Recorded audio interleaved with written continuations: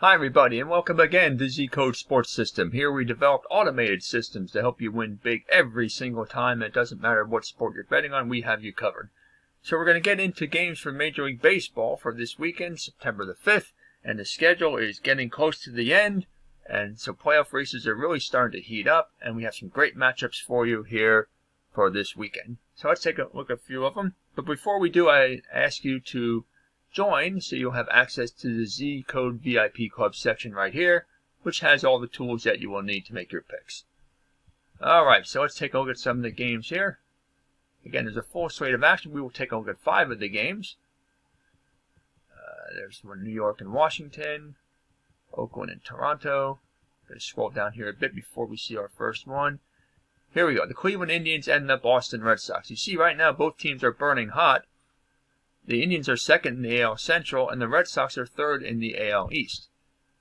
The Indians have won their last four games, and the Red Sox have won their last two after losing their previous three. Zach Plesac is scheduled to pitch for the Indians versus Nick Pivetta for the Red Sox. If you look here at the pitcher profit oscillator, you see that both pitchers have been solid bets here at plus $344 for Plesac and plus $244 for Nick Pivetta you take a look at the power rankings indicators, with both teams burning, being burning hot, you would expect upward trend on this graph, and you see that is the case. Cleveland at plus 25 and Boston at plus 16. If you're considering the over and under bet for this game, which we always like to do, let's take a look at the totals predictor.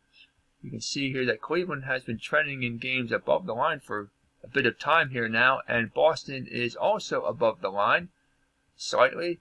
So that would indicate betting the overs, but let's see what the scores predictor indicates. If you look at the scores predictor, you see Boston with a 6 to 5 advantage, but only 38% confidence in the prediction. Take a look at that as we get closer to the game. But overall, I do believe that the Indians will, will take this one on the road. This is kind of maybe a little bit of an upset, but I really do think the Indians will win this one. And but I would bet over. I believe it will be a high scoring game. Detroit and Cincinnati. Minnesota and Tampa Bay. Philadelphia and Miami. The Phillies are hot right now, but we're not really going to take a look at that one. The White Sox and the Royals. Here we go. Here's a very good NL Central matchup. The St. Louis Cardinals and the Milwaukee Brewers. The Brewers come in 10 games out in front in the Central and a commanding 12.5 game lead over the Cardinals.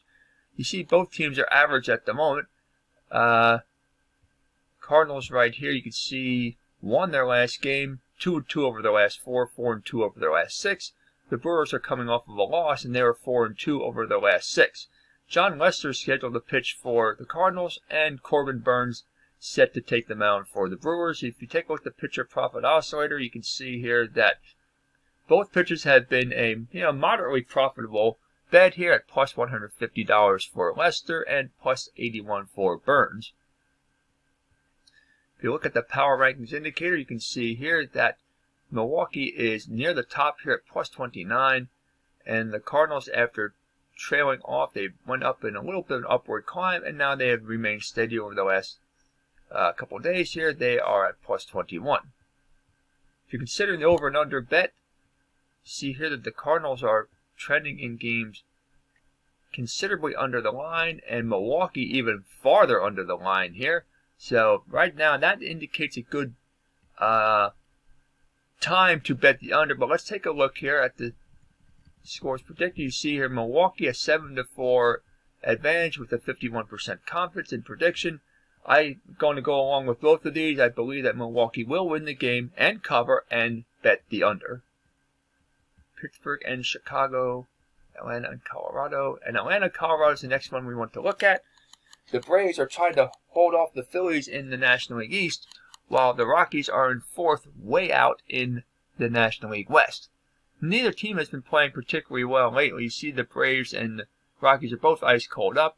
The Braves are coming off a three-game losing streak. They did win their last one. They are two and four over the last six. And the Rockies are also, if I can get this to come up properly for me. Uh, yeah. There we go. The Rockies are also 2 and 4 over their last six games, and they're coming off a loss. Charlie Morton is scheduled to pitch for the Braves. He is 12 and 5 with a 3.52 ERA, and Austin Gomber is scheduled to pitch for the Rockies. He is 9 and 9 with a 4.53 ERA. If you take a look at the pitcher profit oscillator, though, neither pitcher has been a good bet. See, both are in the red at minus $460 for Morton and minus $274 for Gomber, so neither pitcher has been a good bet at all. If you're taking a look at the totals predictor, we will see here that the Braves are trending in games considerably under the line, way under the line as of late, minus 8 points, and Colorado also under the line uh, ever since August the 14th. So that's a really good indication to bet the under.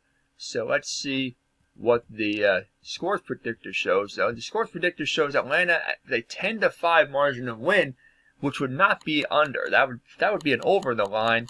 51% confidence in prediction. Take a look as we get closer to this uh, prediction, confidence in prediction, and the score. If this remains high with a higher confidence, I would avoid the over-under. If it goes down or the confidence in prediction is low, then I would go under the line. And I do think the Braves will come away with the win. The Rangers and the Angels. Astros and the Padres. Here's a good matchup. The Astros right now are on top of the American League West, and the Padres are third in the National League West. Both teams are averaged down at the moment, neither playing particularly well. As of late, you see that uh, Houston has lost three out of their last four and three and three over their last six. The Padres have, are coming off a loss of their own, and overall they have lost three out of their last six. Luis Garcia is scheduled to pitch for the Astros. He is 10 and 6 with a 3.23 ERA while Chris Paddack is 7 and 6 with a 4.98 ERA for the Padres. The pitcher profit oscillator shows that both pitchers have been solid bets, though, at plus $272 for Garcia and plus $186 for Paddack. If you look at the power rankings indicator, you can see that very strange here. As you can see that San Diego was all the way down at the bottom at zero just a couple days ago. They have jumped up to plus 17 in one day just from that one win.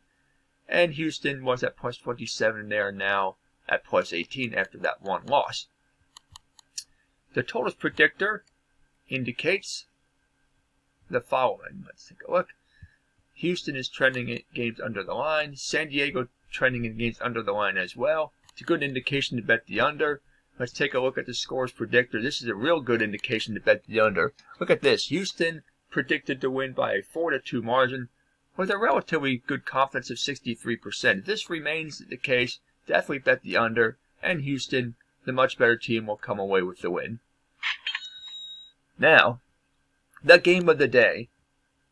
The Los Angeles Dodgers and the San Francisco Giants. These two teams are deadlocked on top in the America, uh, excuse me, in the National League West.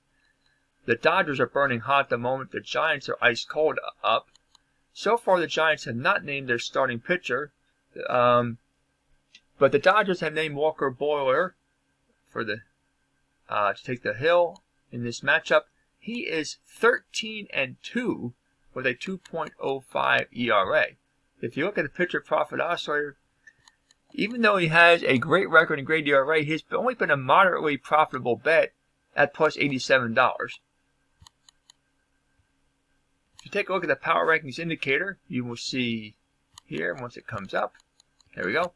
The Dodgers are at plus 24, and the Padres, you know, up as high as plus 27 just, you know, about a week ago. Have been on a completely downward spiral. They're at plus 2.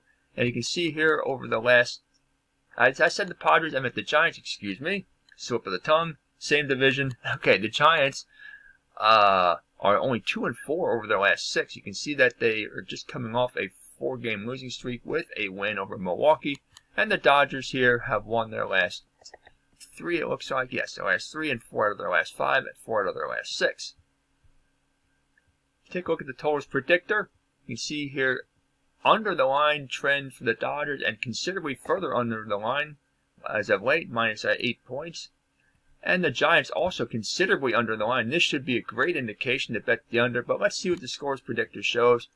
The scores predictor, eh, not not as much, uh, depending on what the line is. Right now, it's giving the Dodgers a 10 to 2 margin of win with a 48% confidence. I do believe the Dodgers will win. I don't think it's going to be by this uh, wide of a margin. So that's why I believe that betting the under is going to be a wise choice. And again, this is only 48% level of confidence in the prediction, so this probably will change. If it doesn't change, obviously don't even go with this because 48%, you know, less than the toss of a coin. I think the Dodgers will win rather easily, but I don't think it will be by that wide of a margin. So pick the Dodgers to win and go with the under. So there you have it. Those are the games here for Sunday, September the 5th. Enjoy the ball games, happy betting, and we will see you next time.